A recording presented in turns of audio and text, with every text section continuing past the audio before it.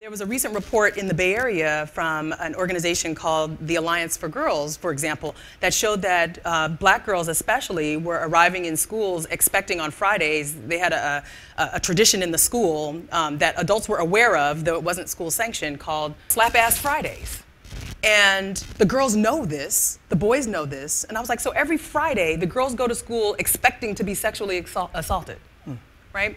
There is a norm that is ultimately accepted about the ways in which we'll engage in the behaviors of girls that don't keep them safe. So a lot of girls might choose not to go.